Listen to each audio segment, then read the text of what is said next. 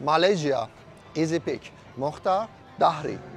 This guy got an offer from Real Madrid. He scored the most goals after Cristiano Ronaldo and Ali Daei. I think 89 goals.